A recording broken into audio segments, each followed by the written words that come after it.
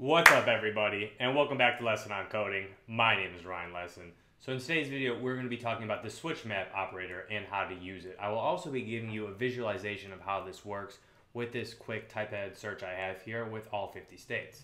So, to show you I have all 50 states, I'm going to be building pretty much a filter to show these states and we'll be using the switch map operator to make our search bar way more efficient and you'll see exactly why in just a second. Okay, so now let's get right down to it. What is the switch map operator? Well, let's take it back to the basis. What is a map operator? A map operator basically takes a value and transforms it into another value. And a switch map is a form of a high order observable. So basically what we're going to do is take a stream of values, map those values to an observable. So basically that's what we'll be doing. We'll be taking a stream and then we'll be taking the other streams, mapping them into observables, and then those observables will get merged to our initial stream and then we'll be able to use it from there. But the switch map operator works very well for type aheads because what happens is we will basically have this form and we're going to be using the value changes property and the value changes property will submit whatever I type into this search bar, and we're going to program this in just a second. So whatever I program in this search bar, basically I will be subscribed to the value change method, and when that observable emits, I will then take that value, map it to another observable, and then with the switch map, I could then switch between observables. So whenever a new observable comes, that old observable is gone. So if you're typing really fast, and especially with a debounce, you could cancel requests that are going out that have not yet resolved. So let's get down to it. Let's go look at the code. Okay, so first things first, let's come here and let's open up the code. So let's go ahead and create a subject. So now a subject is basically an observable that you could subscribe to and you could also omit values to. So we will come up here, public search that then equals new sub new subject, excuse me. Okay, so now that we have this subject, let's go down here and let's get this dot. I created the form, as you can see the forms up here, search form. So this dot search form dot value changes. So basically we're gonna have this value changes, which then just will is an observable that we can subscribe to that emits a new value whenever we type into that input box. So with this value changes, what we're going to be doing is then we're going to be emitting the value from this observable. Excuse me, we have this observable. We're going to be emitting the value into our search observable. So let me just show you what I mean by that. So let's subscribe, come in here, put in value, and then we're to do this dot search there it is, dot next. So when I call next, I'm emitting a value to that search observable, and that value will be the value. Okay. But remember, this is this is gonna be in a in a JSON form, so we need to do value dot search. It's the same as doing dot value on the search form. This dot search form dot value is what we get of the value that's being changed.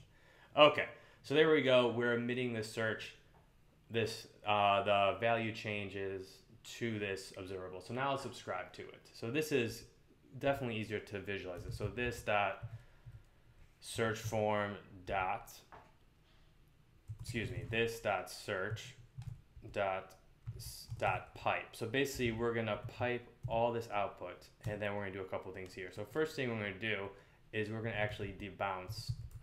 Now I'm gonna leave this at zero just to start We'll change this, But basically, what debounce is doing is it's gonna have a delay after we're done typing, and after we're done typing and that delay has passed, it will then emit to that observable. So we have this debounce, and then next up we're gonna do is add this distinct until changes. So this distinct until change, we're gonna use the bounce time, excuse me. And then distinct until changes basically means if the value has not changed, then don't emit anything but if it's changed, emit something. Okay, and there we go. So now we're gonna add our switch map. So again, basically what our switch map's gonna do is take that value, excuse me, take the value and then map it into an observable. And then we'll be able to subscribe to that and then have this canceling effect. That'll be very, very helpful. So we're gonna come here, we're gonna do switch map So make sure to import this from RxJS observables. And then we'll do value. So remember, this value here would be res.search. So res.search is wherever I type into that input field. So it would be this value, come down here, and let's return this dot HTTP. I'm just using the HTTP client with a server that I just spun up real quickly in Node.js, and I'll show you exactly what that's doing. Dot get, and then string interpolation, it's API slash search slash and then it's just value. Okay. Oop, I have it as val. Okay, so here we go. So now we have this observable of this HTTP request going off. So now let's execute that by subscribing to this.